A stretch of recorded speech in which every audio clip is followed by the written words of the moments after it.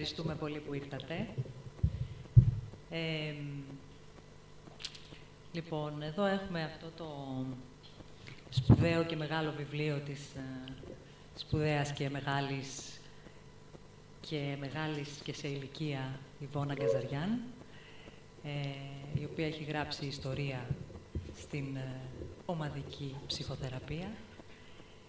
Και αυτό το βιβλίο, η ιστορία μας με αυτό το βιβλίο, ξεκινάει από τότε που ήμουν εκπαιδευόμενη στο Σκέψεις και είχα εκπαιδευτεί μου τον Μανώλη Τσαγκαράκη και ήταν ένα βιβλίο το οποίο από πολύ παλιά τον ενδιέφερε να μπορέσει να μεταφραστεί στα ελληνικά γιατί ε, ο ίδιος το χρησιμοποιούσε πολύ, τη μεθοδολογία του, τις έννοιες του ε, και τα λοιπά και θεωρούσε ότι ήταν πολύ σημαντικό να μπορέσει να γίνει ε, πιο προσιτό με μια ελληνική μετάφραση στους ε, θεραπευτές και στους εκπαιδευόμενους, φαντάζομαι. Ε, και εκεί, λοιπόν, ε, ε, αφού είχαμε μια ατυχία αρχικά με την αρχική μας, τέλος πάντων, πρόθεση να βγει στα ελληνικά γράμματα τα οποία έκλεισαν, βρήκαμε πολύ φιλόξενη στέγη στις εκδόσεις Αρμός, και μέσα στην ε, κρίση που υπάρχει, ε, ο Γιώργος ο Χατζιακόβου, εκδότης του Αρμού, ε, ήταν πάρα πολύ θετικός στο να βγάλει ένα τέτοιο βιβλίο που δεν είναι βέβαια ανέξοδο και δεν απευθύνεται και στο πλάτη κοινό. Γι' αυτό λοιπόν τον ευχαριστούμε πάρα πολύ. Και τώρα λοιπόν νομίζω ότι ήρθε η ώρα να μας μιλήσετε εσείς λιγάκι, έτσι, για όλα αυτά. Καλημέρα σε όλους και από μένα. Ναι.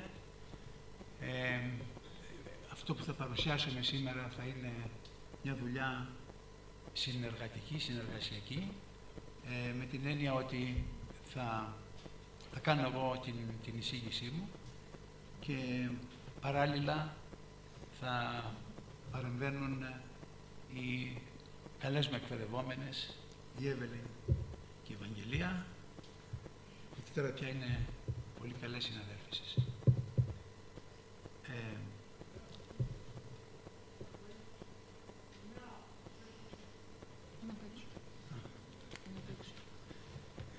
υπάρχει και αυτή η τροφή δεν νομίζω ότι κάνει για αυτούς τους ανθρώπους. Κάτι άλλο ίσως. Η συγκατοίκηση με την Ιβώνα Γκαζαριάν διάρκεσε μαζί με τις ανάπαυλες περισσότερο από δύο χρόνια. Σε αυτό το διάστημα συμπορεύτηκα με τους θεραπευόμενους μου στις θεραπευτικές συνεδρίες, γιόρτασα μαζί με τους συνεργάτες και τους εκπαιδευόμενους μας δύο αποφοιτήσεις και επισκέφτηκα τις θάλασσες και τα βουνά της Κρήτης. Περίπου κατάφερα να απαντήσω στην περιέργεια των εγγονιών μου για το τι καθόμουν και έβαλα τόση ώρα και βίωσα για μία ακόμη φορά τη συντροφικότητα της Έλβης. Παράλληλα, διάβαζα ποίηση και πεζογραφία. Ήταν το υλικό που χρωμάτιζε διαφορετικά το άλλοτε πρακτικό, άλλοτε διεξοδικό και άλλοτε πάλι σύνδετο ύφος της Αγκαζαριάνης. Ό,τι αρχικά προκάλεσε το ενδιαφέρον μου ήταν η θεωρία και οι πρακτικές εφαρμογές της συστημικής ψυχοθεραπείας που η συγγραφέας χρησιμοποιούσε στο οδικής της έμπνευσης συνθετικό μοντέλο συστημικής ομαδικής ψυχοθεραπείας.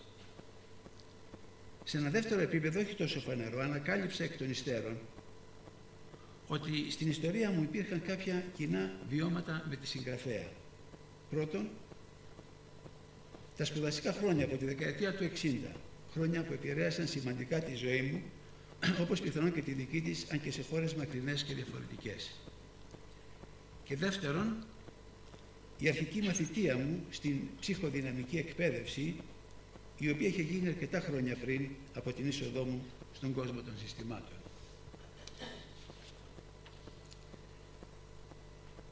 Με αυτές τις σκέψεις που μόλις προηγήθηκαν θέλω να μοιραστώ μαζί σας την εμπειρία μου ότι για να μεταφράσουμε ή να σχολιάσουμε ένα συγγραφέα είναι σχεδόν απαραίτητο πρώτα πρώτα να βρούμε το συνδετικό μονοπάτι για να τον πλησιάσουμε. Κάτι που να μας συγκινεί πνευματικά και βιωματικά. Ακόμα είναι να καταλάβουμε τη σκέψη και το συνέστημά του, κατανοώντας παράλληλα το δικό μας κίνητρο να προσεγγίσουμε το έργο του.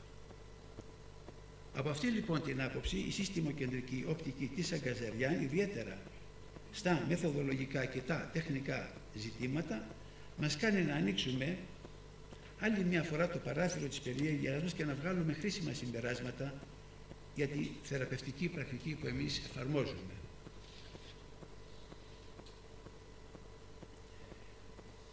Η πρώτη μου επαφή με τη συστημοκεντρική ομαδική ψυχοθεραπεία και με την επιστημολογία της Αγκαζαριάν έγινε μετά τη δεύτερη έκδοση του βιβλίου το 2004 με τίτλο Systems Center Therapy for Groups.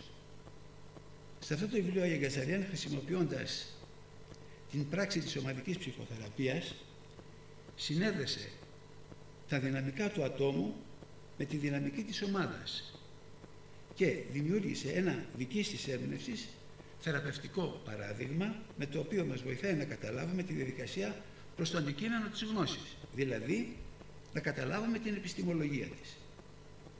Στο επιστημολογικό παράδειγμα της Αγκαραζαριάν μπορούμε να διακρίνουμε τις θεωρίες που χρησιμοποιεί, τις μεθόδους και τις τεχνικές που εφαρμόζει στη θεραπευτική διαδικασία.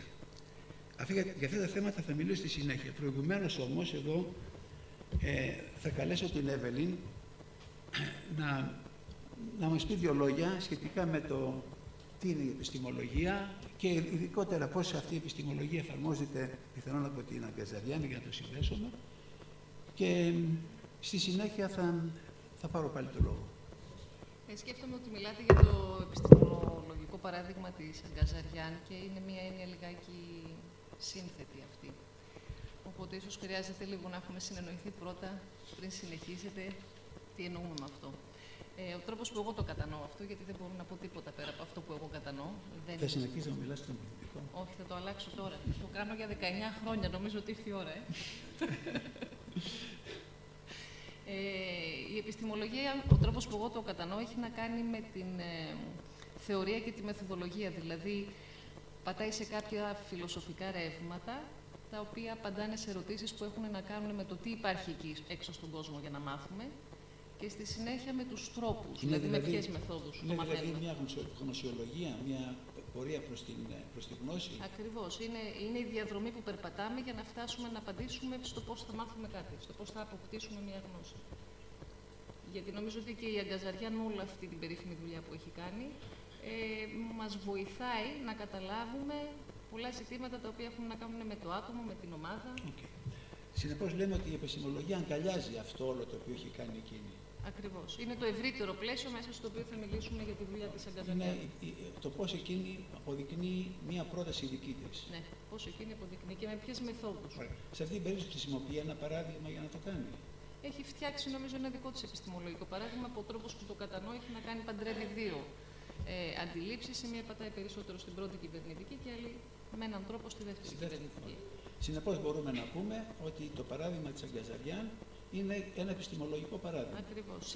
Αν αυτό είναι επιστημολογικό παράδειγμα, μπορεί να είναι επιστημολογικό παράδειγμα και αυτό το οποίο κάνει η πρώτη κυβερνητική.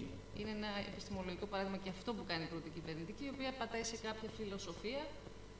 Πιθανά να είναι ο ρεαλισμός. Δουλεύουμε δηλαδή με επιστημολογικά παραδείγματα και στη δεύτερη κυβερνητική. Ακριβώς. Και στην τρίτη κυβερνητική. Και στην τρίτη κυβερνητική. Εσύ με αυτήν ασχολείσαι. Εγώ με αυτήν ασχολούμαι. Με την τρίτη κυβερνητική. Το ξέχασα να το πούμε ότι είναι στο διδακτορικό της η Είμαι στο διδακτορικό μου και ασχολούμαι με την τρίτη κυβερνητική, το οποίο νομίζω ότι είναι κάτι που έχει χαρακτηρίσει και τη συνεργασία και με την επιστημολογία της τρίτης κυβερνητικής. Με την επιστημολογία της τρίτης κυβερνητικής. Συνεπώς είσαι μέσα στο θέμα. Είμαι μέσα στο θέμα, ναι. Ωραία λοιπόν. Τώρα για τον αρμό. Η συστημοκεντρική ομαδική ψυχοθεραπεία, έργο το οποίο θεωρώ ως το πιο αντιπροσωπευτικό της συγγραφέως, σήμερα βρίσκεται μεταφρασμένο στα ράφια και τις προθήκες των βιβλιοπολίων για όσους δεν το έχετε αγοράσει ακόμα.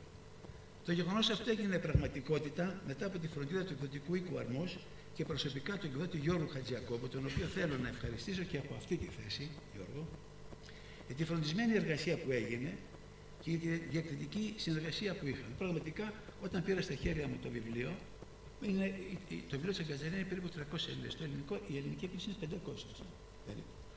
και περίμενα θα ήταν κανένας όγκος. Όγκος είναι, αλλά πάρα πολύ ελαφρύ. Δηλαδή, κανεί μπορεί να το διδάσκει στο κρεβάτι του, αν ήταν λίγο πιο, πιο ελαφρύ περιεχομένο. ε, νομίζω ότι έχουν βρει μια τεχνική πια οι εκδότε να εκδίδουν βιβλία με πολλές σελίδες και ελαφρύ και μικρό βάρος. Αυτό είναι κάτι.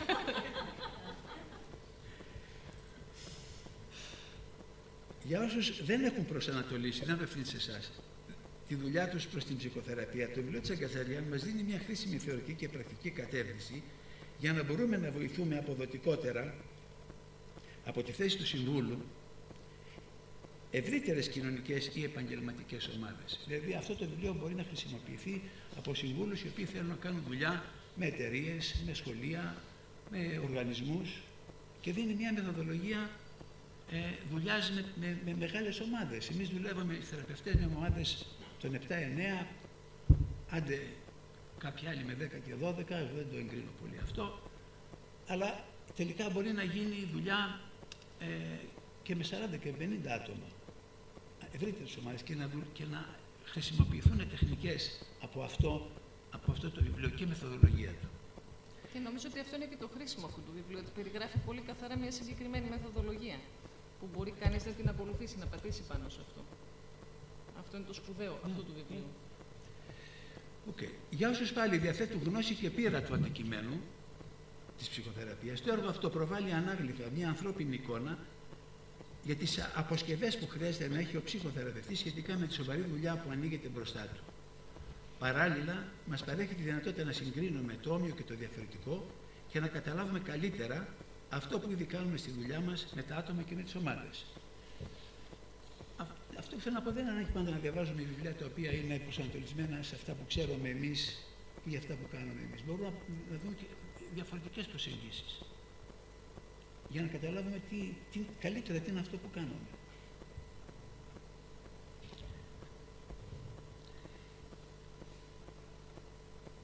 Η σύστημα κεντρική ομάδα της Εγκαζαριάν αναπτύσσεται σε ένα πολυεπίπεδο πλαίσιο σχέσεων στο οποίο αλληλεπιδρούν δύο ισότιμα και ισοδύναμα συστήματα.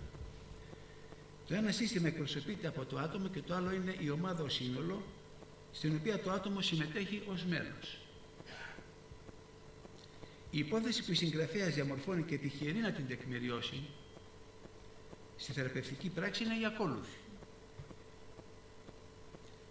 Στο ομαδικό θεραπευτικό πλαίσιο, το, στο οποίο τα μέλη επικοινωνούν ανταλλάσσοντας πληροφορία μεταξύ τους, οι διαφορετικές δυναμικές του ατόμου και της ομάδας αναπτύσσονται παράλληλα και αλληλεπιδραστικά.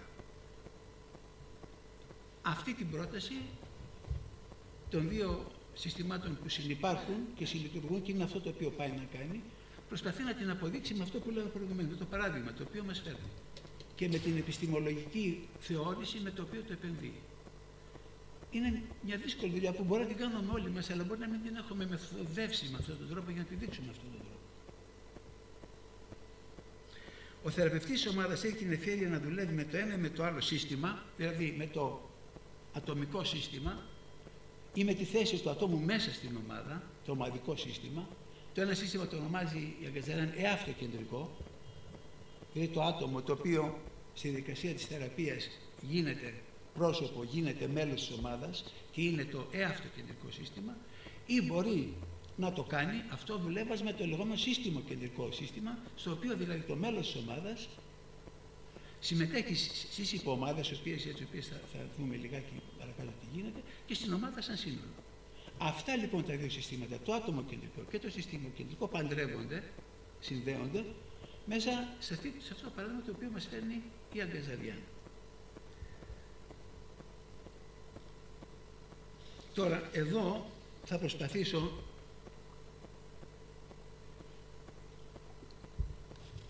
να δώσω ένα παράδειγμα από, από μια δική μου ομάδα, ίσως να το κάνω περισσότερο ε, προσιτό, αυτό που λέω, για να δείξω αυτό το συνδυαστικό τρόπο που λειτουργούν οι δύο δυναμικές της ομάδας και του ατόμου. Ο Γιάννης είναι 55 ετών, έχει τρία παιδιά από δύο γάμους και η, αυτό το οποίο εκφράζει μέσα στην ομάδα είναι ότι αγαπάει πάρα πολύ τα παιδιά του, τα προστατεύει, έχει καλές σχέσεις και μπορεί και τα βλέπει. Απ' την άλλη μεριά όμως πολλές φορές γίνεται πολύ αυταρχικός, παρεμβατικός, αυστηρός, θέλει να τα καθοδηγεί, με αποτέλεσμα ναι, η ομάδα να θυμώνει μαζί του και να στέφεται εναντίον του. Να γίνεται δηλαδή ο αποδιπομπαίος τράγος ομάδας. Ενώ ένας άνθρωπος πάρα πολύ μιλήχιος κτλ. Όταν μιλάει για τα παιδιά του, μπαίνει σε, αυτή, σε αυτό το ρόλο. Προκαλεί δηλαδή τον θυμό και η ομάδα έχει μια ε, τάση τέτοια να βρίσκει κάποιον να θυμώνει αντί να θυμώνει το θεραπευτή. ο, ο Γιάννης λοιπόν παίρνει αυτό το ρόλο. Η Αγκαζαριά τώρα τι λέει, για να δείξει ακριβώς αυτές τις δύο δυναμικές. Λέει, υπάρχει αυτή μια τεχνική που λέγεται διχάλα στον δρόμο, fork in the road, σύμφωνα με την οποία μπορεί κανείς να πει, να ρωτήσει το θεραπευόμενο, θέλεις να δουλέψουμε, να δεις τι γίνεται εδώ πέρα σε σχέση με την ομάδα ή θέλεις να δουλέψουμε βαθύτερα προκειμένου να δεις από πού προέρχεται αυτή η συμπεριφορά σου μέσα στην ομάδα. Βέβαια, αυτό στις αρχές της θεραπείας νομίζω ότι το αποφεύγουμε να γίνεται. Προτείνουμε να γίνει δουλειά στο εδώ και τώρα, γιατί να μπει κανείς βαθύτερα στι αρχές της θεραπείας δεν το κάνουμε. Το κάνουμε αυτό σε προχωρημένα στάδια. Αν και το ίδιο θέμα μπορεί να επανέλθει πολλές φορές. Μην νομίζετε ότι μια φορά έγινε και λύθηκε, αυτό επανέρχεται. Σε προχωρημένη φάση της θεραπείας. Οπότε λέει λοιπόν η Αγκαζαριάν ότι έλα να δουλέψουμε στο εδώ και τώρα ή αν θες να δουλέψουμε στο βαθύτερο επίπεδο. Δηλαδή τη δυνατότητα να κάνει μια επιλογή. Το σημαντικό είναι ότι κάνει αυτός μια επιλογή. Και το σημαντικό είναι ότι ο θεραπευτής δίνει τη δυνατότητα της επιλογής. Τώρα, εάν εκείνος διαλέξει να δουλέψει το εδώ και τώρα, αυτό το οποίο κάνει είναι να δει ποια είναι η σχέση του με όλους τους άλλους μέσα στην ομάδα και ποιος είναι ο ρόλος του. Η ομάδα δουλεύει, δηλαδή σύμφωνα με αυτό που έλεγα, δουλεύει ομαδοκεντρικά. Τι γίνεται όμως δουλεύοντας ομαδοκεντρικά.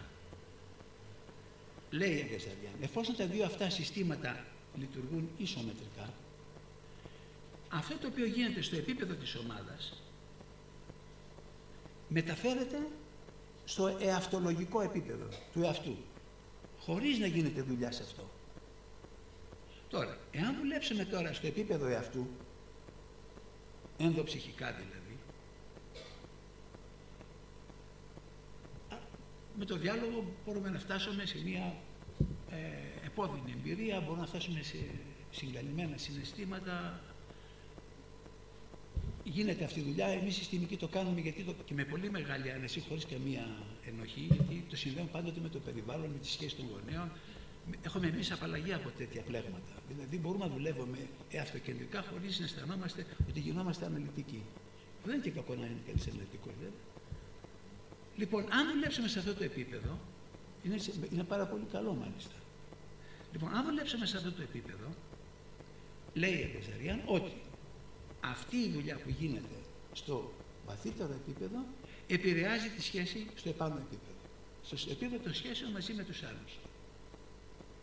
Τώρα φανταστείτε εσείς ένα κύκλο στον οποίο είναι όλη η ομάδα, δουλεύει κανείς σύστημα κεντρικά και βλέπει το ρόλο του το αποδιοπομπαίο τράγου και βλέπει η ομάδα πώς τον κάνει εκείνη αποδιοπομπαίο τράγου γιατί το χρειάζεται αυτό το πράγμα, εξομαλύνεται αυτό κατά κάποιο τρόπο και, και δείτε πάλι σε ένα άλλο επίπεδο. Αυτό αφορά λοιπόν όλη την ομάδα στο πάνω επίπεδο και στο κάτω επίπεδο πάλι αφορά όλη την ομάδα. Δηλαδή δουλειά που κάνει ατομικά στο κάτω επίπεδο, χωρίς οι να συμμετέχουν σε αυτό, γιατί ο διάλογος γίνεται με τον Γιάννη.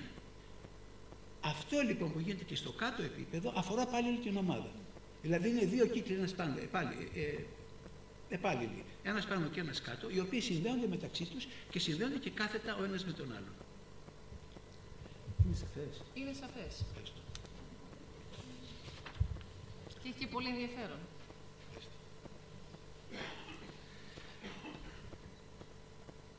Ενθαρρυμένοι από την επιστημονική κοινότητα των ανθρώπων που την πλαισίωναν και που εμπιστευόντουσαν το μακρόπνο εγχείρημά της, η Αγκαζαριάν επέλεξε ένα δίκτυο θεωρητικών ενιών από τις επιστήμες της βιολογίας, της ψυχολογίας, των μαθηματικών για να, για να αναφερθώ στις κυριότητες. Εδώ πέρα λίγο επανέρχομαι στο θέμα της επιστημολογίας. Η επιστημολογία δεν είναι μόνο μία θεωρία. Δεν προσεγγίζω. Εμείς στη στιγμή το έχουμε κάνει αυτό το πράγμα. Οι κυβερνητικές και η συστημική προσέγγιση είναι μια, ένα δίκτυο θεωριών. Αυτό κάνει και εκείνη. Και με επίκεντρο τη θεωρία των ζωντανών ανθρώπινων συστημάτων, είναι μια δική συστέμευση θεωρία, υποστήριξε το επιστημολογικό παράδειγμα για την ψυχοθεραπεία για να προσεγγίσουμε και να κατανοήσουμε το επιστημολογικό παράδειγμα της Αγκαζέρια, χρειάζεται να έχουμε υπόψη μας όχι αποκλειστικά μία μόνο κεντρική θεωρία, αλλά το σύνολο των επιστημονικών θεωριών, στις οποίες εκείνη αναφέρεται ή υπονοεί σε κάθε δεδομένη ευκαιρία.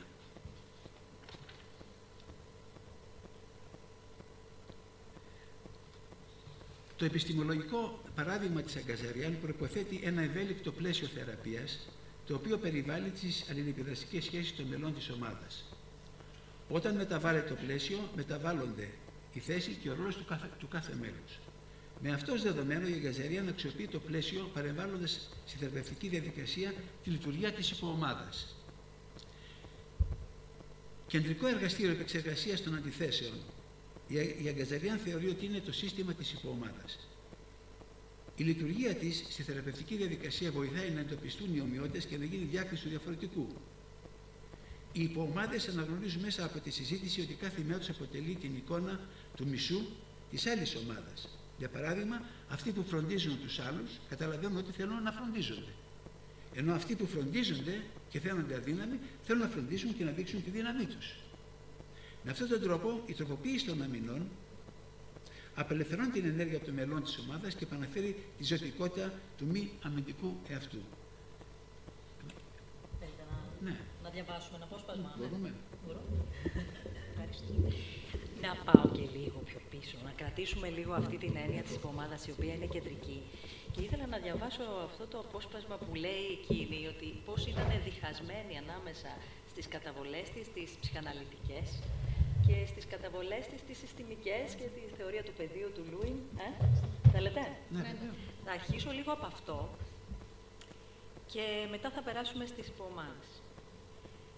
Ε, λέει λοιπόν, παρά το γεγονός ότι τόσο ο ερευνητικός μου προσανατολισμός στις δυναμικές της ομάδας, όσο και ο τρόπος που εφάρμοζα την ομαδική ψυχοθεραπεία εμπνέονταν κυρίως από το Λούιν, θέλετε να πείτε λίγο...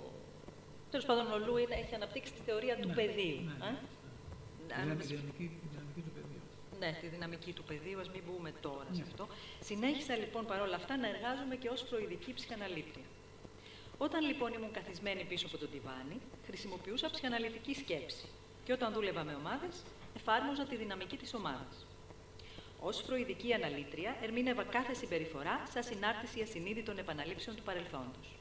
Ω λουινική ψυχοθεραπεύτρια, ερμήνευα κάθε συμπεριφορά σαν συνάρτηση του τρόπου αντίληψης του παρόντος. Ω φροηδίστρια, οδηγός μου ήταν το προσωπικό μου ασυνείδητο. Ω λουινίστρια, με καθοδηγούσαν οι ερευνητικές μέθοδοι ελέγχου της πραγματικότητας και η εμπειρική παρατήρηση. Ω ομαδική θεραπεύτρια, παρατηρούσα την ομάδα ως όλο στο πλαίσιο των σταδίων ανάπτυξης της ομάδας. Ω αναλύτρια, παρατηρούσα το κάθε μέλος της ομάδας από άποψη ψυχοδυναμική. Ω φροηδίστρια, άκουγα την κάθε φωνή με ένα τρίτο αυτή. Ω λουινίστρια, άκουγα τη φωνή της ομάδας ως όλο. Βρισκόμουν πραγματικά στο μετέχμιο δύο διαφορετικών κλάδων και συχνά ένιωθα διχασμένη. Δεν ήξερα τότε πόσο καλά εκπαιδευόμουν να μπορώ να εμπεριέξω σημαντικές διαφορές αναζητώντας συγχρόνως γέφυρες προς την ομοιότητα. Και αυτές οι γέφυρες προς την ομοιότητα είναι το εργαλείο που χρησιμοποιεί για να αξιοποιήσει τις υποομάδες, ε, για να φτιάξει μάλλον υποομάδες μέσα στην ομάδα και να τις αξιοποιήσει θεραπευτικά. Δηλαδή μέσα σε μια εβδομάδα μπορεί κανείς να βρει το, μπορεί κανείς να, βρει το, να εντοπίσει το όμοιο και να αναζητήσει το, το διαφορετικό. Να διακρίνει το διαφορετικό.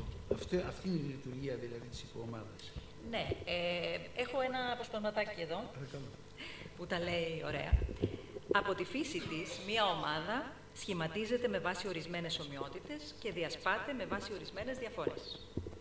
Είναι τυπικό, τυπικό χαρακτηριστικό των ανθρώπων να απομακρύνονται από το διαφορετικό και να συσπυρώνονται γύρω από το παρόμοιο. Αυτό το βλέπουμε στη ζωή μας τα τελευταία χρόνια. Πολύ έντονο.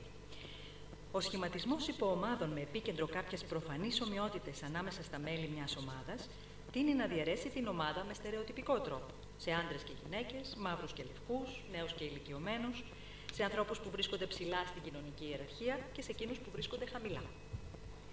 Παρότι η διαίρεση σε στερεο... στερεοτυπικές υποομάδες λύνει ένα πρόβλημα, προσφέρει δηλαδή έναν τρόπο να εμπεριεχθούν οι διαφορές, δημιουργεί ένα άλλο. Ο στερεοτυπικός χωρισμός δεν είναι πάντα ο καλύτερος τρόπος κατανομής των αναγκαίων πόρων για να συντελεστεί το θεραπευτικό έργο, στο οποίο στοχεύουν τα μέλη που συγκεντρώθηκαν στη θεραπευτική ομάδα. Μία εναλλακτική λύση αποτελεί η δημιουργία λειτουργικών υποομάδων, η οποία ενισχύει την πιθανότητα οι διαφορές να χρησιμοποιηθούν προς όφελος του θεραπευτικού έργου. Θέλετε κάτι να πείτε πάνω στις λειτουργικέ ε, ομάδες; Ναι. Ε, εάν δεν κουράζει το κρατήριο, ε, η δουλειά που γίνεται μέσα στις υποομάδες είναι αυτή, αυτή δηλαδή ακριβώς, ότι ε, μέσα εκεί είναι, είναι ένα εργαστήρι. Ε, είναι μια τεχνική κατασκευή. Δημιουργείται δηλαδή ένα υποσύστημα και με αυτόν τον τρόπο το ευρύτερο σύστημα γίνεται πλουσιότερο, γίνεται πολυπλοκότερο. Η, η θεωρία της Αγκαζαριάν είναι όταν αλλάξει κανείς πλαίσιο, αλλάζει και συμπεριφορά. Αλλάζει ε, στόχο, αλλάζει ρόλο. Οπότε αυτή η διαφοροποίηση την οποία εμείς επιδιώκουμε, εκείνη την κάνει με ένα τεχνικό τρόπο. Φτιάχνει δηλαδή μια υπομάδα, είναι, είναι κατασκευαστικό τελείως, είναι, είναι construction. Φτιάχνει, φτιάχνει ε, ε, μια υπομάδα και εκεί πέρα τα μέλη της ομάδας χωρίζονται σε αυτούς οι οποίοι θέλουν να μιλήσουν για αυτό το οποίο καταλαβαίνουν ότι τους ενώνει και οι άλλοι σε, σε κάτι το οποίο καταλαβαίνουν ότι πάλι τους ενώνει, αλλά από την αντίθετη πλευρά. Και εκεί πέρα μέσα βλέπουν, ας πούμε, αυτοί οι οποίοι είναι ε, προστατευτικοί, βλέπουν ότι θέλουν να προστατεύονται και άλλοι οι οποίοι προστατεύουν βλέπουν ότι θέλουν να, να είναι, ε, να προστατεύονται από τους άλλους, ε, να, να γίνονται προστατευτικοί οι ίδιοι και να δείχνουν τη δύναμή τους. Αυτά τα πράγματα μπορεί κανείς να τα δουλέψει μέσα σε μια υποομάδα. Βέβαια, στη θεραπεία που έχει μια δική της ζωή και εμείς πια είμαστε πολύ προσανατολισμένοι στη διαδικασία της θεραπείας. Το να κάνει κανείς μια τέτοια παρέμβαση που είναι στρατηγική και είναι αυτό που την κάνει την αγκαζαρία πρωτοκυβερνητική. Αυτή η στρατηγικότητά της. Δεν, δεν το, εμείς δεν το κάνουμε πια αυτό, έχουμε φύγει από αυτό. Μπαίνουμε μέσα στη διαδικασία και ακολουθούμε τη ροή της θεραπείας. Ε, όχι που μας πάει, αλλά που πηγαίνουμε κι εμείς. Οπότε, σε αυτή την περίπτωση, ε, είναι, είναι λίγο παρεμβατικό όλο αυτό. Okay. Και αυτό το παρεμβατικό της έχει να κάνει και με την καταγωγή της από το ψυχαναλυτικό κομμάτι που βοηθάει πολύ την αγκαζαριά να κάνει όλη αυτή τη σύνθεση. Την οποία εμείς τη μεταφράζουμε και, τη λέμε πρωτοκυβερνητική, ναι, αλλά ναι. έχει να κάνει με όλη την καταγωγή της, με όλη την ιστορία. Κοίταξε τώρα ανοίξει ένα θέμα μεγάλο. Δηλαδή, όταν η αγκαζαριά μπήκε ας πούμε, το, το, το 80 στα συστήματα, το 80 μπήκε η αγκαζαριά στα συστήματα και το 97 βγήκε το βιβλίο από το 80 έως το 97 δεν δημοσίευσε ούτε ένα άρθρο, βλέπω ούτε ένα άρθρο για τη συστημική θεραπεία. Το 1993 άρχισε να δημοσιεύει άρθρα για τη συστημική θεραπεία, που σημαίνει ότι αυτό το δούλευε πολύ μέσα της. Δεν, είναι εύκολο αυτός ο μετασχηματισμός να δουλεύεις τόσα χρόνια αναλυτικά και ξαφνικά, επειδή διάβαζες πέντε βιβλία ή μπήκες σε ένα, σε μια, σε ένα εργαστήρι, ε, αυτό το πράγμα να γίνει, ε, ε, να γίνει συνείδηση.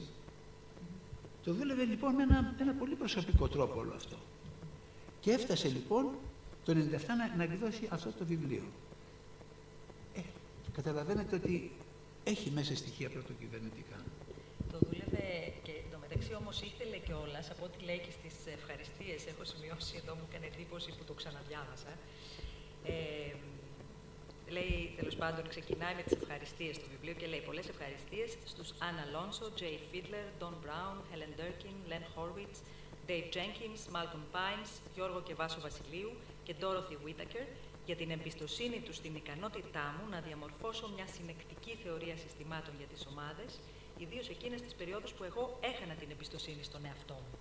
Ήταν δηλαδή ένας ε, σκοπός mm. ζωής της ουσιαστικά. Νομίζω, το είπε και πριν, ότι στο απόσπασμα που διάβασα πριν, ότι προσπαθούσε μέσα της να ε, ενσωματώσει τις ε, δύο και να συνθέσει σωστά, τις δύο ε, θεωρίες, τις δύο προσεγγίσεις και τελικά αυτό όλο από προσπάθεια εσωτερική το έκανε και προσπάθεια επιστημολογική. Ναι. Ξέρεις, μπορεί να, μπορεί να μιλάει πολύ ώρα για αυτά τα πράγματα. Και είναι και πολύ γοητευτικά, αλλά αυτά σε σεμινάριο δεν θα πούμε. λοιπόν. Όποιος θέλει, ας σας δηλώσει ότι ενδιαφέρεται για ένα σεμινάριο πάνω στην αγκαζαριά. Ε, θα το σκέφτεσαι, θα έρθει και πέρα. Έχουμε συνεχίσει το σεμινάρια. Όχι, λέμε πάνω στο βιβλίο. Α, πάνω στο βιβλίο. Το, το θεραπευτικό παράδειγμα της Αγκαζαριάν, μέσα από το οποίο εκείνη τεκμηριώνει τη σύνθεση στην ομαδική ψυχοθεραπεία του ατομικού και του ομαδικού, μας παραπέμπει στην ιστορική ανατροπή που έγινε στον χώρο των συστημάτων με την εμφάνιση της δεύτερης κυβερνητικής. Διανύοντας τη δεύτερη κυβερνητική περίοδο του 1980 και μετά, η συστημική θεωρία και πρακτική έμπαινε σε αχαρτογράφητα νερά σχετικά με τον επαναπροσδιορισμό της θέσης του υποκειμένου και, και κατ' επέκταση του προσδιοριζόμενου ασθενή μέσα στο σύστημα. Οι αντιλήψεις αυτές εισήγαγαν έντονα την έννοια της διαφοροποίησης μεταξύ θεραπευτή και θεραπευόμενου.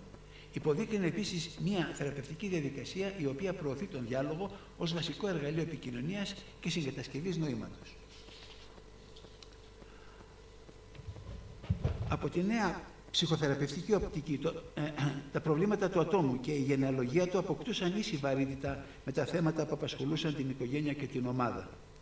Η δεύτερη κυβερνητική ψυχοθεραπεία υποδείκνυε την αναγκαιότητα για διάλογο των υποκειμένων και για αμοιβαία συγκατασκευή του νοήματος, το οποίο προέκυπτε μέσα από τη θεραπευτική πραγματικότητα. Σημαντικό όμως είναι ότι η νέα συστημική επιστημολογία εστίαζε με την ίδια σοβαρότητα τόσο στη διαπροσωπική επικοινωνία όσο και στην εσωτερική επικοινωνία του θεραπευόμενου με τον εαυτό του. Εδώ είναι η πόρτα που μας βάζει εμάς στην ατομική ψυχοθεραπεία. Αυτό ξεκινάει το 1980. Γινόταν, βέβαια, προετοιμαζόταν πολλά χρόνια πριν. Αλλά επίσημα πια γίνεται τότε και το βιβλίο Living Groups το 1981, το οποίο εκδόθηκε από τον Durkin, τον James Durkin και τη γυναίκα του, την Helen Durkin, είναι βασική συγγραφέας. Η Helen Durkin ήταν ιστορικός, μην γίνει ψυχοθεραπεύτρια ε, μιλάει για, για, για, τα δύο αυτά πράγματα. Δηλαδή, από τη μια μεριά υπάρχει, δηλαδή, ακόμα εκείνα τα χρόνια, το 80, υπάρχει ακόμα μια, ένα επιστημολογικό παράδειγμα το οποίο έχει να κάνει με το παρατηρούμενο αντικείμενο και υπάρχει ένα άλλο παράδειγμα το οποίο έχει να κάνει με την, ε, με την κατανόηση του εαυτού, με την αυτοαναφορά. Γι' αυτό είναι και το ενδιάμεσο. Γι' αυτό και εκείνοι μέσα στο ενδιάμεσο. Ούτε και εκείνοι είχαν καταλήξει. Δηλαδή, νομίζω ότι ένας ψυχοθεραπευτής συστημικός και οποιοδήποτε άλλος θεραπευτή. Αυτό το βιβλίο Living Groups είναι πάρα πολύ σημαντικό και ίσως έπρεπε να, να μεταφραστεί γιατί είναι από τα βασικά βιβλία της συστημικής προσέγγισης. Και εκεί πέρα πάνω στηρίζεται η Εγκαζαριάν, η οποία μαθήτευσε δίπλα στην Ντέρκιν, από το 70 βέβαια έχει πρωταρχίσει, πήγε το 80, μαθήτευσε δίπλα της και έφτασε να κάνει αυτό που λέμε εμείς το, το 1997. Γι' αυτό λοιπόν λέω, δεν μπορώ να πω με μεγάλη βεβαιότητα ότι η Αγκαζαριάν έχει ασχοληθεί και ότι μεταφέρει στο έργο της τις αρχές από τη δευτεροκυβερνητική ιδεολογία. Κατανοώ επίσης την, την πρόθεσή της να χρησιμοποιεί τη δευτεροκυβερνητική σκέψη ως προς τον εσωτερικό παρατηρητή και ως προς την διαφοροποίηση του υποκειμένου. Συχνά όμως η, διά, η διάγνωση και η αποδόμηση των αμυνών κατά τη θεραπεία μου φαίνει στο νου μια στρατηγική διάθεση ερχόμενη από την ιδεολογία και την πρακτική της πρώτης κυβερνητικής.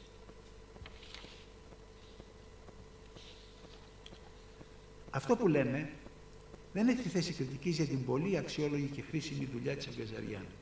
Εξάλλου, η δευτεροκυβερνητική ιδεολογία και πρακτική απαραίτητος προποθέτει τη σύνθεση με την πρωτοκυβερνητική. Το λέω αυτό περισσότερο για λόγους δικής μου αυτοσυνέπειας προς την εξέλιξη της συστημικής σκέψης. Το δεύτερο κυβερνητικό μετα, μετανεωτερικό παράδειγμα είναι, είναι μεταμοντερισμός η δεύτερη κυβερνητική συνιστά το μεγάλο άλμα της συστημικής προσέγγισης που δεν διδάσκεται μόνο, αλλά βιώνεται κατά κύριο λόγο μετά από εκπαίδευση και δράση στο πεδίο της ψυχοθεραπείας. Μετά από όλα αυτά, μπορώ να κατανοήσω τον τρόπο που η Αγκαζεριάν διακινεί την περιέργειά μας. Μα κάνει να ξανασκεφτόμαστε τα όμοια και τα διαφορετικά, που στην πράξη διαφέρουν διακριτές θεραπευτικές προσεγγίσεις και μας βοηθάει να βγάλουμε χρήσιμα συμπεράσματα για την καθημερινή δουλειά στο πεδίο της ψυχοθεραπείας. Εύελιν, εδώ, αν θες να μας πεις κάποια πράγματα για την δεύτερη κυβερνητική. Σκέφτομαι ότι μιλάμε για την πρώτη κυβερνητική και τη δεύτερη κυβερνητική, ενώ στην πραγματικότητα αυτά, αυτές οι στιγμές δεν είναι και τόσο κόκκινες γραμμές πότε περάσαμε από το ένα στο άλλο. Ε, και θεωρώ ότι όλη αυτή η εμπειρία και η, ιστορία της Αγκαζαριάν με την ψυχανάλυση ήταν κάτι που ήταν εξαιρετικά βοηθητικό για την ίδια για να μπορέσει να συνθέσει αυτά τα δύο κομμάτια δουλεύοντας σε μια ομάδα να μπορεί να εστιάζει τη μία στιγμή στο άτομο και την άλλη στιγμή στο ρόλο του ατόμου μέσα στην ομάδα. Γιατί στην ιστορία και στην εξέλιξη της συστημικής έπεσε μεγάλο βάρος στο να μπορέσουν να καταλάβουν το πώς γίνεται η αλληλεπίδραση κάποια στιγμή και αυτό όρισε την πρώτη κυβερνητική. Οπότε έμεινε λίγο απ' έξω από την εικόνα η εστίαση στο άτομο. Η Αγκαζαριάν έχοντα όλη αυτή, όλο αυτό το πλούτο και όλη αυτή την πληροφορία πίσω της από την ψυχανάλυση, έχω την αίσθηση ότι μας δίνει ένα παράδειγμα ίδια, το οποίο χωρίς να το λέμε, χωρίς να το παραδεχόμαστε, χωρίς να το καταλαβαίνουμε, όλοι λειτουργούμε κάπως έτσι. Είναι παντρεμένα αυτά τα πράγματα την ώρα της πρακτικής. Οι βασικές διαφορές ανάμεσα σε αυτά τα δύο είναι ότι στην πρώτη κυβερνητική και κάτι το οποίο νομίζω φαίνεται και μέσα στο βιβλίο της Αγκαζαριάν είναι αρκετά παρεμβατική, βλέποντας. Είναι αρκετά κατευθυντική. Και αυτό προποθέτει ότι ο θεραπευτής είναι απολύτως ειδικό και ξέρει πολύ καλύτερα ναι. από το θεραπευόμενο και έτσι μπορεί να τον κατευθύνει. Ίσως το δούμε αυτό και στο, στο θέμα του διαλόγου. Ναι. Πώς ε, ο διάλογος ε, δεν έχει μεγάλη σημαντική θέση ή καθόλου θέση μέσα, μέσα στο βιβλίο της. Παρόλο Ενώ που υπάρχει. Ναι. Παρόλο που υπάρχει. Αλλά θεωρητική έννοια. Ναι, ναι. Δεν σηματοδοτείται ως τέτοιο. Θα το δούμε αυτό στη συνέχεια. Ναι. Θέλετε μήπως ε, κάποιο παράδειγμα που να φωτίζει ναι, αυτό; Ναι. Ωραία, ωραία. Έχουμε.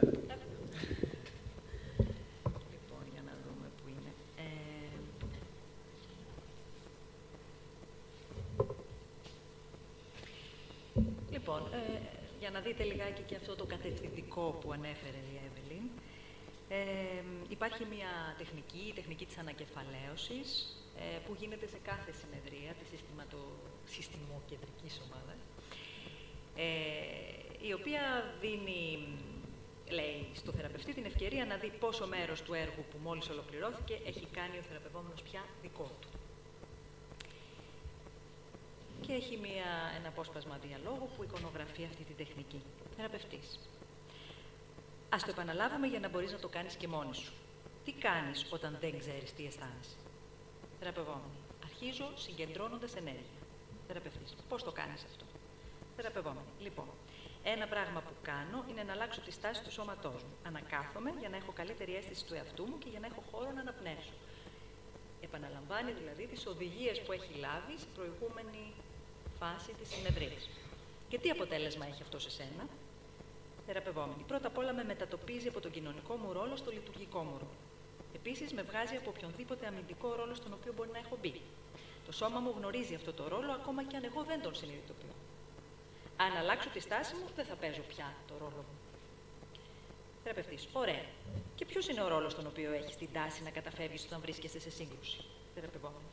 Μπαίνω σε μια σχέση όπου εσείς είστε από πάνω και εγώ από κάτω. Εσείς γίνεστε δάσκαλος ή γονέας και εγώ γίνομαι το δαρμένο παιδί. Το πρόβλημα είναι ότι σε αυτό το ρόλο χαζεύω εντελώς, δεν μπορώ να σκεφτώ. Βασίζομαι σε εσάς για να μου πείτε τι να κάνω. Συμμορφώνομαι και το κάνω σωστά, αλλά δεν μαθαίνω. Και έτσι, όταν πρέπει να το κάνω μόνη μου, δεν μπορώ να θυμηθώ τι χρειάζεται να κάνω. Θεραπευτής. Και αυτή τη στιγμή, εγώ κάνω όλες τις ερωτήσεις, πράγμα που είναι μια συμπεριφορά εξουσίας. Τώρα νιώθεις ότι ο ένας είναι από πάνω και ο άλλος από κάτω. Θεραπευόμενη. Όχι. Θεραπευτής. Πώς το ξέρεις; Θεραπευόμενη γελάει. Ε, γιατί ξέρω τις απαντήσεις. Και οι απαντήσεις προέρχονται από τη δική μου εμπειρία. Δεν λέω μόνο αυτά που νομίζω ότι θέλετε εσείς να ακούσετε. Και συνεχίζετε.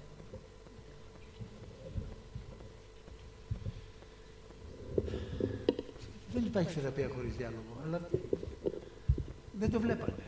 Δεν, δεν, δεν σημασία. Δεν μπορεί ο Χέιλεϊ να έκανε θεραπεία χωρίς να κάνει διάλογο. Έκανε, όλοι κάναν διάλογο αλλά δεν το βάζανε, δεν, δεν, δεν το βάζανε σημαντικά. Ε, εγώ πολλές φορές θέλω ένα παράδειγμα καταπληκτικό. Ε, μια καλή μου φίλη είχε καλέσει τον πατέρα της να έρθει στην Αθήνα για να κάνει εξετάσεις. Πολλά χρόνια. Ήταν περίπου δεκαετία του 90. Ήρθε λοιπόν από το χωριό, εκείνος έκανε τις εξετάσεις, αλλά εκείνη δούλευε, εκείνο έμενε στο σπίτι. Του λέει λοιπόν, ρε πατέρα, δεν κατεβαίνεις να πας εκεί που πήγαινες κάποτε όταν ήσουν στην Αθήνα, στους ανεργάτε. Να πας να δεις τον Πάγιο όπω το έχουν ανακοινήσει, να, να δεις ε, τον Μπακάκο όπω έχει γίνει καινούριο, να δεις το καινούριο ξενοδοχείο της Ομόνιας, να δεις και τον δρομέα του Βαρότσης στη μέση της πλατείας. Πάει αυτός λοιπόν. Και γυρίζει πίσω. Και της λέει, τα είδα όλα μου λέει. Το δρομέα δεν είδα. Γιατί εκείνος περίμενε ένα δρομέα, ο οποίος ήταν ξέρω, ένα άγαλμα ενός από αυτούς που ξέρω, ας πούμε, ένα κλασικό άγαλμα. Αυτό το πράγμα το οποίο ήταν ένας δρομέας δεν μπορούσε να το δει. Θέλω να πω δηλαδή ότι αν δεν εστιάσεις, αν δεν, είσαι, δεν έχεις μέσα κάποια πάτερ, γιατί έτσι σκεφτόμαστε, να το ε, δεις αυτό, δεν θα το δεις. Περνάει απαρατήρητο.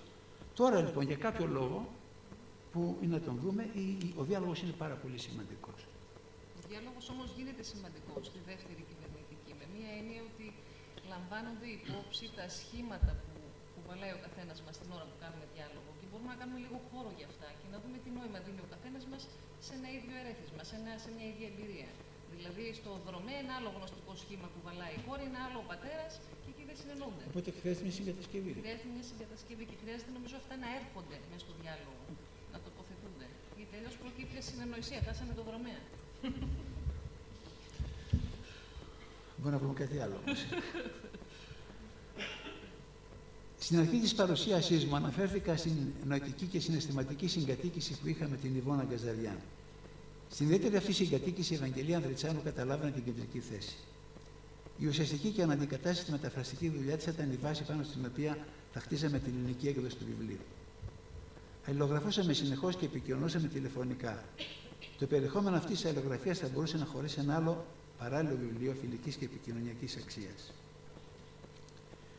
Σε κάθε σχεδόν κεφάλαιο απολάμβανα τη μεταφραστική ακριβολογία και την αυτοπιθαρχία στην απόδοση του πρωτοτύπου την ευρηματικότητα της Ευαγγελίας στα νοηματικά και εκφραστικά δύσβατα σημεία του βιβλίου. Η δική μου συμβολή εστιαζόταν στο να επεξεργάζομαι και να σχολιάζω τις εσωτερικές διασυνδέσεις των νοημάτων. Διασκέδασή μου ήταν ότι ενώ δεν γνωρίζω τόσο καλά την αγγλική γλώσσα, η νοηματική διείσδυση στο κείμενο μου οδηγούσε σε γλωσσικές αποδόσεις που δεν ήταν καθόλου καλύτερες από αυτές της Ευαγγελίας, αλλά ήταν διαφορετικές. Τότε ήταν που ενθουσιασμένος ανάγκη να συνέλθει. Έβρικα. στον υποσελίδιο σχολιασμό και στα προλεγόμενα του βιβλίου που χρειώθηκε από των πραγμάτων να επικαλεστώ το δικό μου μέτρο της αυτοπιθαρχίας, καθώς η Αγκαζεριάν σε προκαλεί ακατάπαυστα να ακολουθείς και να ερευνάς μαζί της τη συγγραφική διαδρομή της. Τελικά, όλη η διακίνηση σκέψεων και συναισθημάτων και γεγονότων που γινόταν ανάμεσα στους τρεις μας έμοιαζε με ένα παιχνίδι σύνθεσης και συνεργασίας που μου ξυπνούσε την επιθυμία για ένα δικό μου μελλοντικό βιβλίο.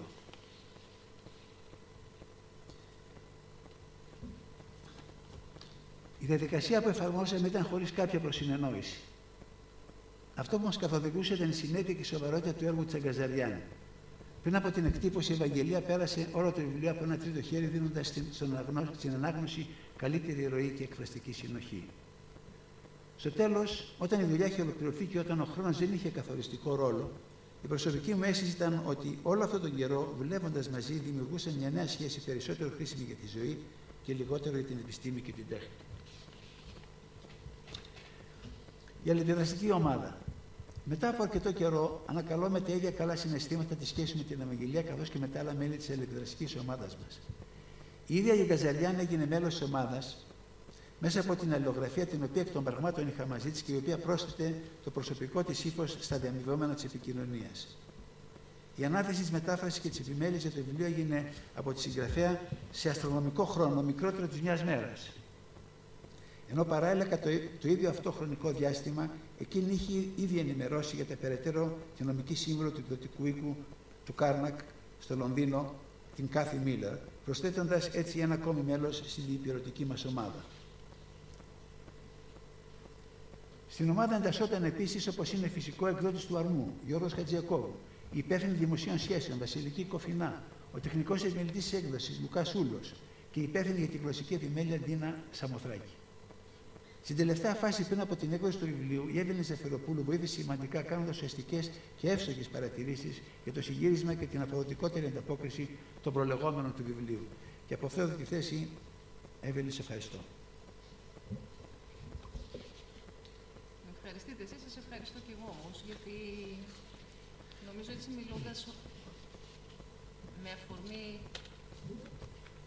την πρώτη και τη δεύτερη κυβερνητική και την τρίτη κυβερνητική και τις επιστημολογίες και την πορεία της συστημικής πρακτικής, εγώ θα τολμήσω να πω ότι παρόλο ότι η Αγκαζαριάν μας δίνει ένα παράδειγμα σύνθεσης ανάμεσα στην πρώτη και στη δεύτερη κυβερνητική, πάρα πολλά στοιχεία της δικής μας συνεργασίας, για να μην πω για την ιστορία της δικής μας συνεργασίας, που μάλλον έχει περάσει από όλες τις κυβερνητικές, ε, νομίζω ότι όσον αφορά τη συνεργασία μας τουλάχιστον σε αυτό το βιβλίο, έχει πολλά στοιχεία τα οποία νομίζω ότι αφορούν σε μια πολύ πιο μεταμοντέρνα έκδοση.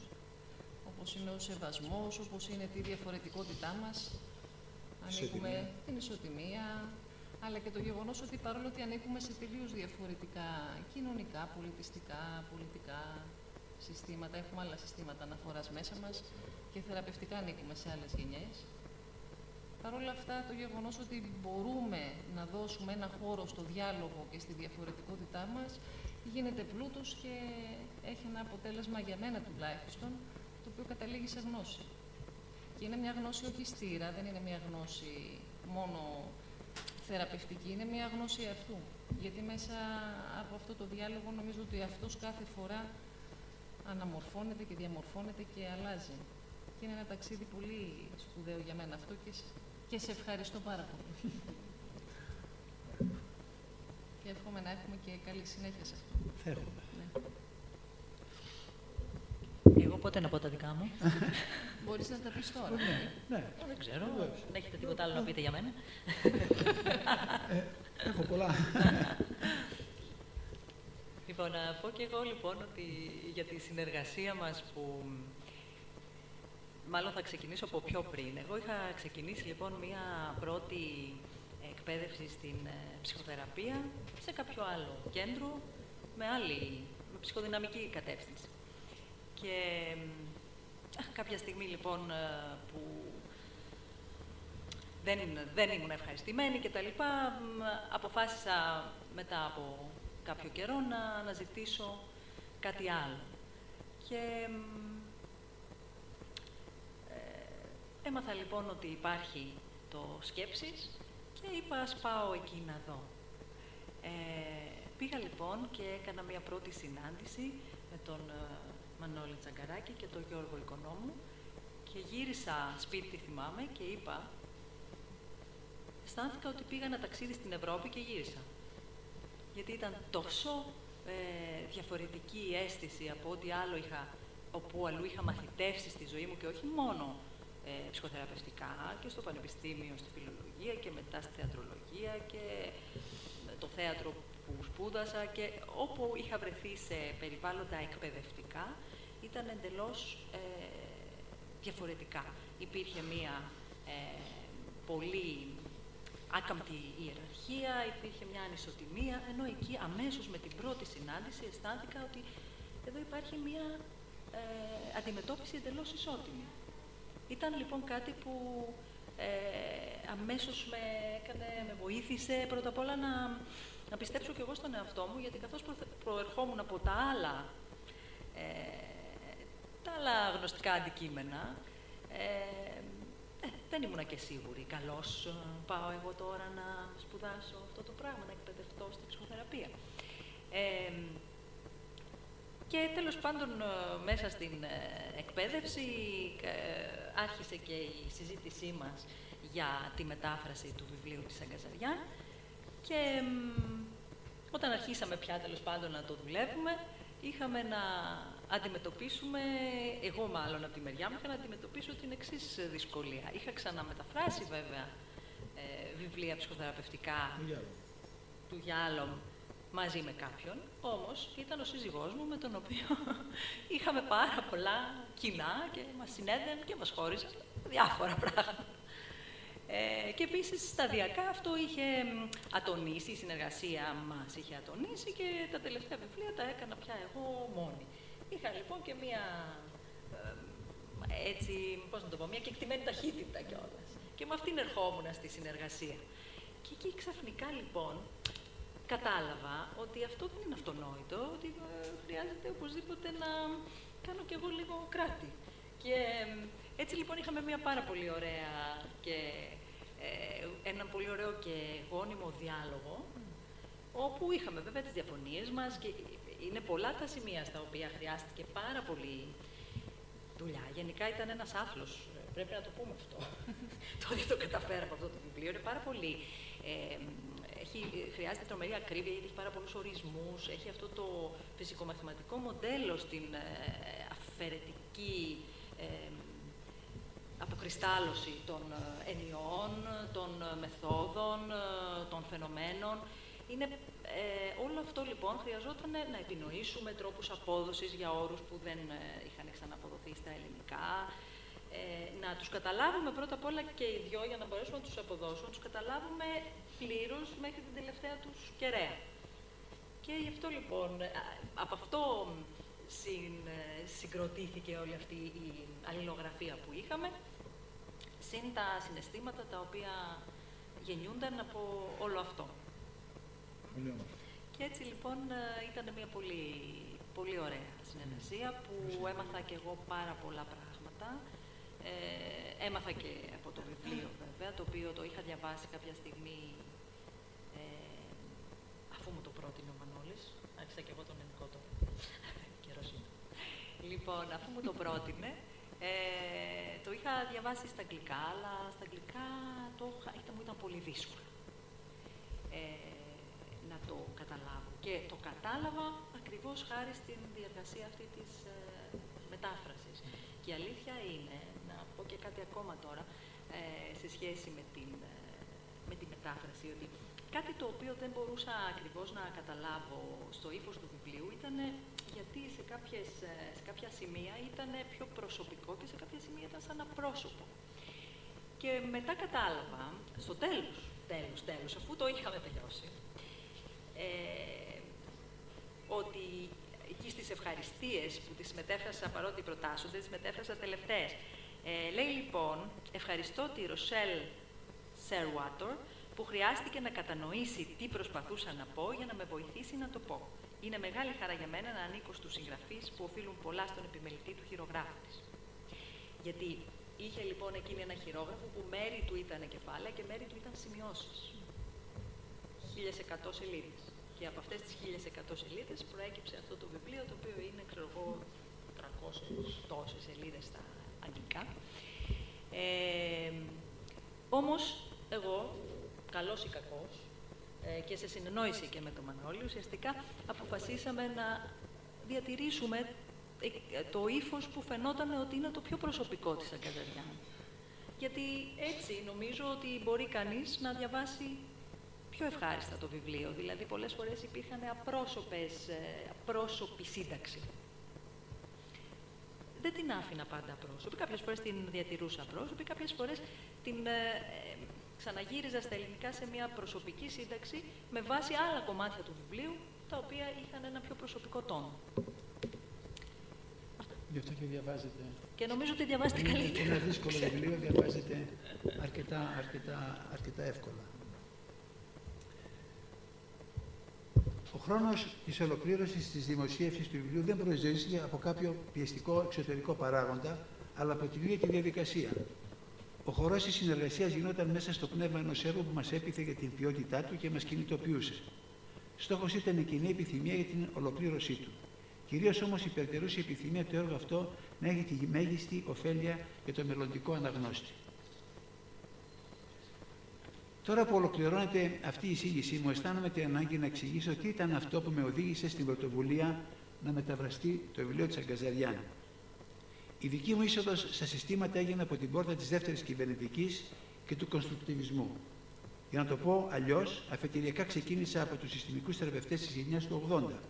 Ήταν η αρχή μιας πορείας που προετοίμαζε με φυσικό τρόπο το πέρασμα προς τα ρέματα της μετανεωτερικής ψυχοθεραπείας, του διαλόγου και της αφήγησης. Εφαρμόζοντας τη συστημική ψυχοθεραπεία από αυτή τη θέση, βίωσα στην πράξη την ανάδυση των υποκειμένων μέσα στο θεραπευτικό σύστημα. Ο εξωτερικός παρατηρητής και συνάμα ο περιγράφων θεραπευτής έβλεπε τον εαυτό του να μετακινείται μέσα στο σύστημα και να γίνεται το ένα από τα δύο υποκείμενα της θεραπευτικής σχέσης.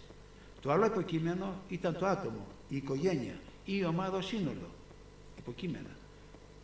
Προ... Προερχόταν από το μετασχηματισμό του αντικειμένου σε υποκείμενο, το οποίο επίσης παρατηρεί και παρατηρείται. Επίκεντρο της θεραπευτικής διαδικασίας μπορούσε να γίνει οποιοδήποτε μέλος της οικογένειας εμφάνιζε την ανάγκη να πάρει βοήθεια. Αυτή η υποκειμενικοποίηση του αντικειμένου της συστημικής ψυχοθεραπείας μας έδινε τη δυνατότητα να δουλεύουμε παράλληλα τόσο με την οικογένεια ω σύνολο, όσο και με το άτομο. Επιχειρώντας λοιπόν να κάνω ένα τελικό απολογισμό, εκτιμώ το βιβλίο της Αγκαζαριάν. Πρώτον, μας δείχνει ένα ολοκληρωμένο παράδειγμα προσωπικής επιστημολογίας. Μας δίνει ένα συνθετικό έργο εφαρμογής δύο διαφορετικών και φαινομενικά σύμβατων προσεγγίσεων με άξονες την επικοινωνία, τη διαφοροποίηση και την εξέλιξη. Παρουσιάζει στο εγγένειο ψυχοθεραπευτικό χώρο μια αποκαλυπτική μετάβαση από την πρώτη στη δεύτερη κυβερνητική, έτσι ώστε να καταλαβαίνουμε καλύτερα το όμοιο από το, από το διαφορετικό στη δική μας προσέγγιση. Μας εισάγει στον τρόπο σκέψης και στη σοφία της σπουδαίας αυτής δασκάλας και ψυχοθεραπεύτριας, που ακόμη και σήμερα συνεχίζει και ασκεί το πολύπλευρο έργο της. Υπάρχει ωστόσο κάτι που δεν θα μπορέσει να αναγνωρίσει εύκολα στο βιβλίο αυτό ο υποψήφιος αναγνώστης. Αυτό αφορά στην τέχνη του ψυχοθεραπευτή και προκειμένου στη δεξιοτεχνία και το συνέστημα με τα οποία η Αγκαζαριάν διαχειρίζεται το θεραπευτικό γεγονός. Είναι μια ατμόσφαιρα σχέσεων που ξεπερνάει τα όρια της περιγραφής και που τελικά είναι ίσως αυτή η σχέση η οποία προκαλεί το μοναδικό φαινόμενο της ψυχοθεραπείας. Για να καταλάβει καλύτερα αυτό το έξοχο κλίμα της συγγραφέως, θα χρειαστεί ο ψυχοδελευτή να εφαρμόσει την καθιερωμένη τακτική του αναγνώστη, ο οποίος αντλεί από τα προσωπικά του βιώματα και τα επενδύει στο περιεχόμενο της ανάγνωσής του.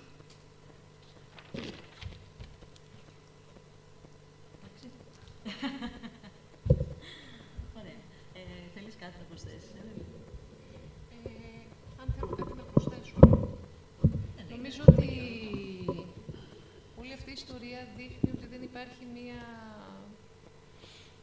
ένα, μία θεωρία η οποία πάει από μόνη της. Δηλαδή ότι η σύνθεση των θεωριών, το δίκτυο των θεωριών, είναι αυτό το οποίο κάνει κάτι πιο γόνιμο. Και όλη αυτή η δουλειά που έχει γίνει με αυτό το βιβλίο, θεωρώ ότι αφήνει κάτι πολύ πλούσιο και σε όσους έχουμε ήδη ξεκινήσει και εργαζόμαστε και δουλεύουμε με ανθρώπους και είμαστε στο θεραπευτικό χώρο, αλλά ακόμη περισσότερο και στους ανθρώπους οι οποίοι ξεκινάνε τώρα γιατί έχει κάποια βήματα και κάποια σκαλοπάτια πολύ συγκεκριμένα.